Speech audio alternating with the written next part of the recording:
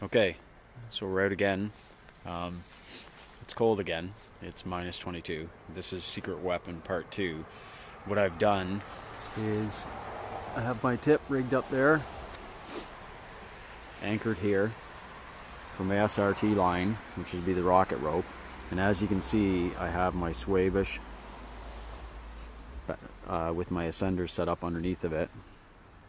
And in my secret weapon, I already have my DRT system rigged down to my bridge actually. So it's going to replace my tether.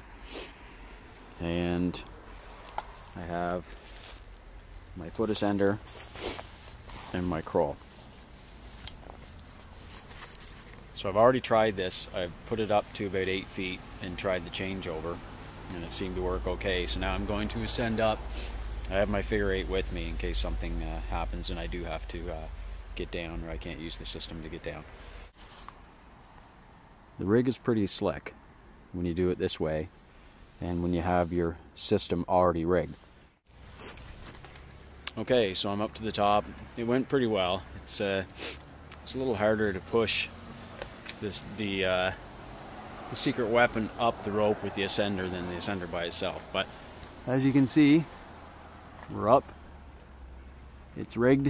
I have my alpine butterfly tied the way Nick showed me, and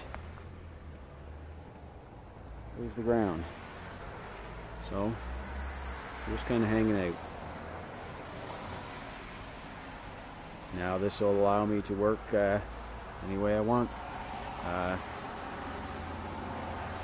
it's a pretty cool weapon to have in your arsenal. See you on the ground.